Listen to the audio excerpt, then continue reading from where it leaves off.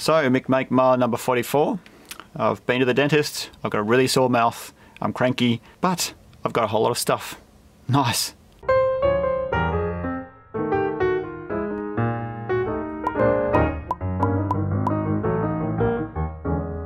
Hej, Billy Pepper, betyder... Hej, hej, hej, hej. Hej, hvad siger spørgsmålet? Det siger bare for... Hej, hvad er det? Og hej, hej, det Så bare hvad det? This video is being sponsored by JLC PCB, who provides Mick with all his PCBs. They can produce 1 to 6 layer boards from 0.4 to 2 millimeter thickness. Track widths down to 3.5 mil via drill size down to 0.2 millimeters and can handle BGAs. What on earth is a BGA? Uh, controlled impedance, cutouts, gold fingers, and even offer a panelisation service. You can get all that for only $2 for five PCBs in any colour, manufactured in 24 hours. Click on the link in the description below to check them out. Click on the link in the description below to check them out. So, uh, let's crack open this one at random.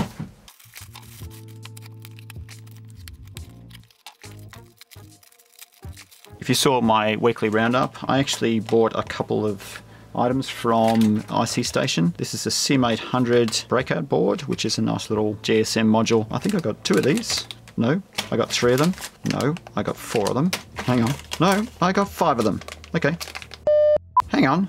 This is another module. I must have been too happy with the button clicking. I don't know why I got six of them. I also got the 800C module in USB format, which is essentially the same as these modules, except it's plug and play. So let's crack one of these open. Now, you're probably wondering why I bought a 2G SIM module. Now, the reason is that, first of all, these are pretty cheap.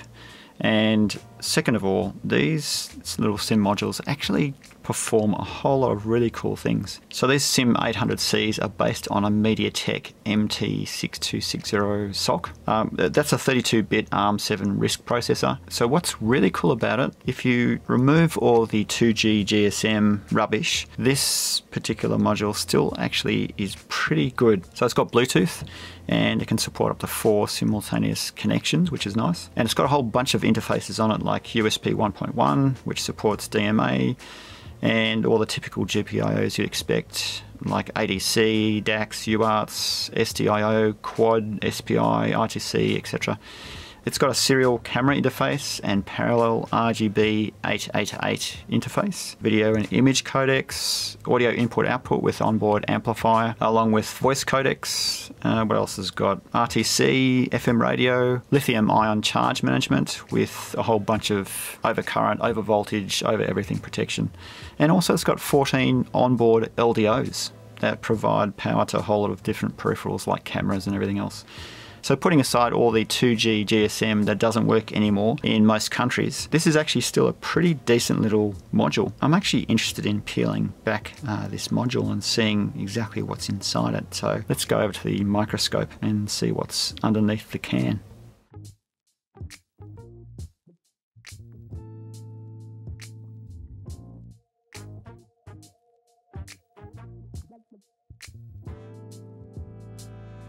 So I've managed to pull the can off the top and the main SoC is actually a MT6261MA and I can't really see much difference between the 6260 and the 6261. Maybe it's just slightly slower clock rate or faster clock rate, who knows what it is. So on the back, this particular IC is what appears to be an MP1482DS which comes from Monolithic Power Systems and it's a pretty simple DC step down switching regulator. Um, and this is there for pulling the 5 volt supply down to the 4 volts required for the module. And I don't know what this thing is. I don't know, MOSFET, LDO, um, who knows what it is. And on the top side, there's an RF transceiver, GSM GPRS RF transceiver module, which is well, it's needed. So bang for your buck is still pretty good considering you get all those extra features like Bluetooth and everything else. So it'd be good to hack around with this and see if I can actually get this to do something. I'm not going to do it in this mailbag. Uh, so that's something that I'm going to put on the back burner. I've got a whole ton of other projects I need to look at. So unfortunately these, actually, I ordered a whole lot of other things. That's right. I ordered those USB thingies and also the digital load tester. I didn't get those. That's strange. Okay, I have to complain about that. Okay, next thing. Okay, so the next thing is a package coming from our mates over in New Zealand, the land of the long white cloud. So this comes from a company called Ingenuity Micro, and they've just come out with a new board called uh, Kea and also Electron. They also sent me Electron XL. Okay, let's crack these open. So this is the Kea which is in a very familiar feather format, no Adafruit feather format. It's got an onboard STM32F411, I believe, and ESP32 Pico D4, 8 megabit SPI flash. Of course, it also supports LiPo charging, has onboard MicroPython, I believe, and also supports NetMF or C Sharp. And I believe they're also going to be supporting uh, which is a drag and drop plugin for Visual Studio by Pervasive Digital. Uh, let's fire this one up and see how we go. Now I'm actually waiting for some documentation from Ingenuity Micro to see uh, how to power it up and how to program it, but I might have a bit of a play around uh, before they send that documentation and see how far I get. Okay, soldering time. I'll need to find some headers now.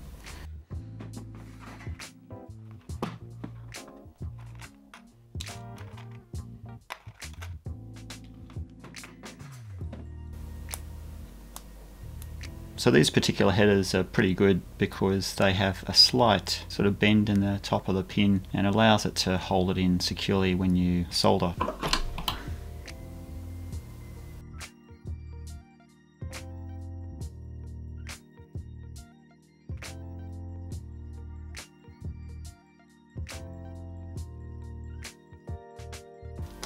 Ah, so I just realised I've cut myself again. I'm not sure how I do that. There you go. Luckily I have a lot of these things on hand.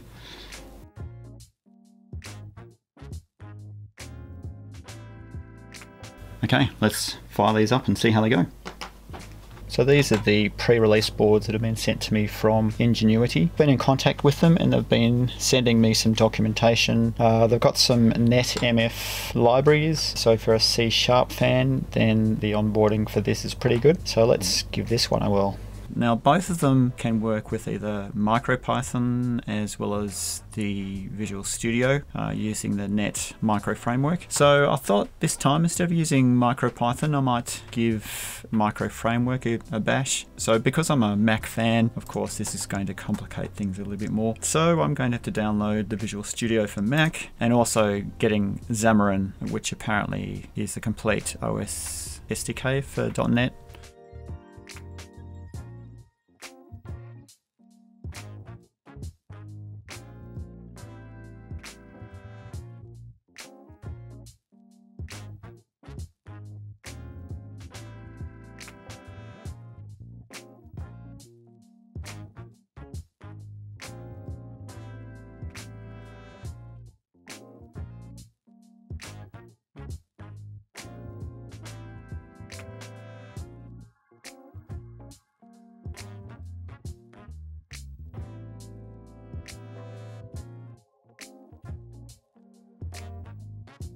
So I ended up having a bit of a problem with the uh, NetMF framework, and this is mainly because I'm a Mac OS X fanboy, and all this sort of stuff works a whole lot better in Windows. So I'll have to leave this for another mailbag, and I have to move on to another thing. So what's next? Okay, so the next one, I know this came from my mate down in Melbourne who runs a YouTube channel called Unexpected Maker and he's been wanting to send this to me for some time.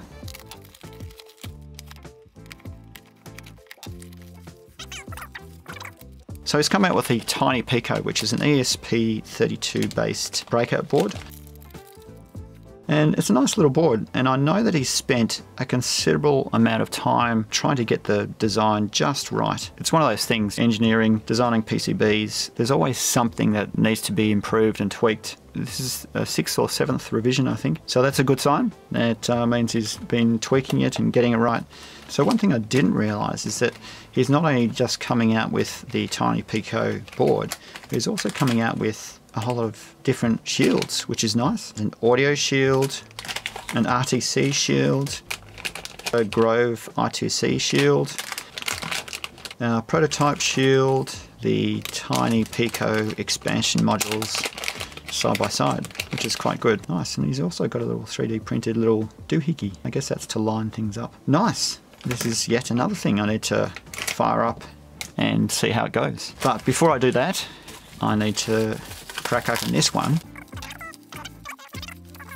So this is essentially an all-in-one unit that allows you to control a plain old toaster oven or convert a toaster oven into a reflow unit. So if you saw my last mailbag, you would have seen me test out a cheap toaster oven from Aldi just to see if I could actually use that as the basis of a fairly small reflow oven.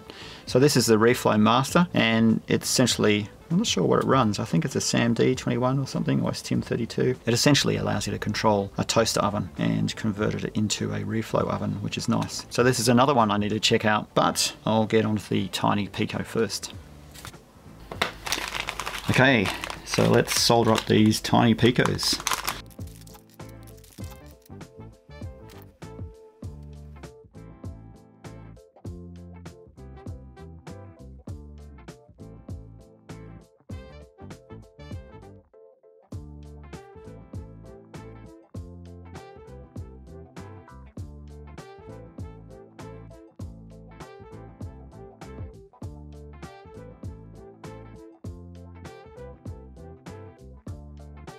So it's a nice set of boards Seon has come up with. You can either have the tiny Pico like this and attach all these boards on top, sort of extend them out. If you use these type of headers, you can just keep going up and up and up, or else you can chuck it into this side by side, which does pretty much the same thing and breaks out all the GPIOs across. So you can attach an RTC module or else a speaker module. You've got a prototyping area and also a Grove RTC board as well.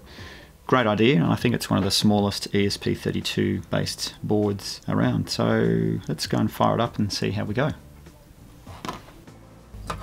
Alright, so let's uh, fire up a couple of examples. He's got a couple of examples here in the software library. He's got a Tiny Pico helper library. Oh, YouTube subscriber library. Hmm. And he's got examples for MicroPython and also the Arduino IDE. Excellent. So let's fire one of these examples up and see how we go. Now I was going to show you how to set up the Tiny Pico in the Arduino IDE, but I think pretty much everyone has probably been through this several times. In fact, I've actually had multiple videos on how to do this. So I think I'll skip this bit. And of course I loaded up Seon's Tiny Pico helper library and that produced a temperature from the ESP32, which is nice. Then I hooked up the RTC board, downloaded a library for accessing the RTC, and that just came up okay. I could change the time, date, to anything worked well. No issues. So one of the things Seon did mention that he's pretty flooded at the moment with getting all that sort of documentation and libraries and everything else up to speed. And I know he actually went out and bought a pick and place machine, so he's going to be doing a lot of the work in house. So he's going to be pretty busy for a, a, long time, I'd say. So I won't go and test out all these other things like uh, the audio board and everything else. One issue I did come across is the switch for the audio board. Um, as I was lifting it out, I pulled the switch off. But anyway, I sent Seon an email and uh, he's going to look at fixing it up in his production runs. From what I can see so far, this is actually a really nice little product. If you're interested in getting a tiny little ESP32 that's been made by a pretty reliable guy, then consider backing the tiny Pico on crowd supply. So that's really good. As I was packing everything up, he's gone to the trouble of providing all this sort of documentation where Um, everything's all fairly simply laid out and gives you as much information as possible. If you're anything like me, which is someone who doesn't bother to read documentation properly, uh, then this is pretty good. Okay, so moving on, we've got the Reflow Master, and I don't think I'll have time to really get this installed and up and running, but I might be able to do a couple of tests on it, uh, which would be good. Uh, so let's see what happens.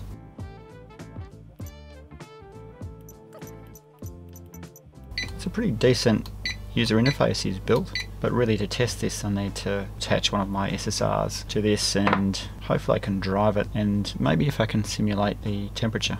But we'll see.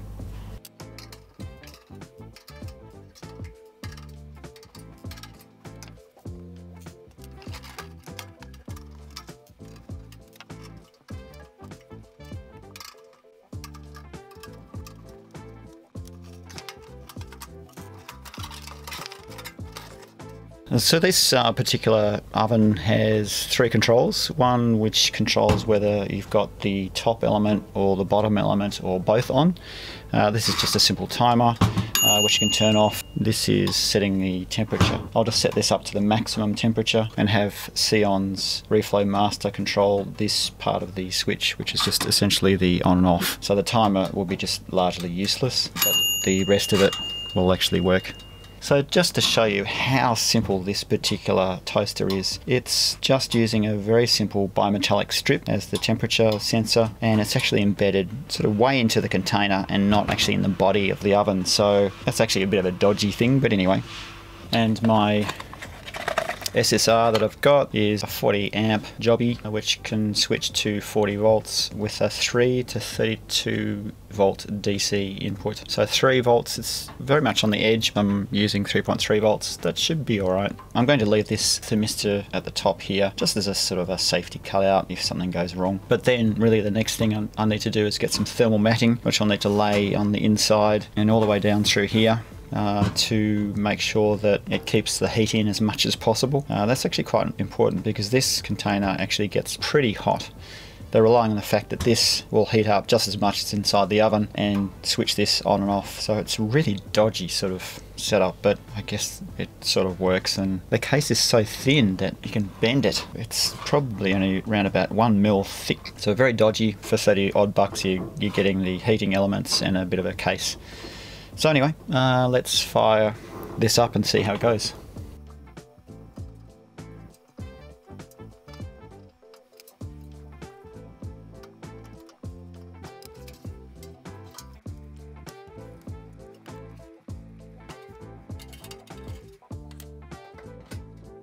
So uh, Doofus here managed to break the thermocouple. Fortunately I have another one, so I'm going to have to replace it. Okay, so it looks all a little bit dodgy, but really all I'm interested in is just a proof of concept. So I've got uh, Reflow Master there, I have the SSR, I have the... Uh, I have the really dodgy K-type thermistor there connected up and it's all contained within the oven. It's dodgy, yes, at the moment, so let's fire it up and see what happens. Okay, so I'll start off with an oven check, I think and see how this little baby actually does behave. So the SSR is fired. It should be now just adjusting the temperature. I'm using this as a safeguard should I have any sort of runaway temperatures. It's supposed to be warming up. Okay, so we're starting to feel a temperature just warming up slowly. The oven's exposed, so it's going to lose a heck of a lot of heat. So it's not a particularly good test. But anyway, we'll see how it goes when there's no cover on it. So we managed to get up to temperature fairly easily and this is just confirms my test that I did. Adding the fan of course is a very simple thing that'll just help with getting that temperature under control. So nice. This oven's a bit of a goer. Okay, so this uh, video was originally going to be published last week, but um, with all my dental issues of just been going through, uh, I didn't really get around to doing it. And you would have noticed that there's two packages that I missed out opening. One of them is an SBC and the other one is a real doozy. I've been really itching to open it, but I really didn't get a chance to do it. So anyway, uh, that about wraps it up for this mailbag.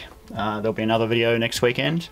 I don't know what it's going to be, but it'll be something. Maybe I'll speak to my patrons and get them to uh, suggest something. Anyway, thanks for watching and see you next week. Track widths down to two. Click on the link in the description below to check them out. Click on the link in the description below to check them out. What even are gold fingers or a panelisation service?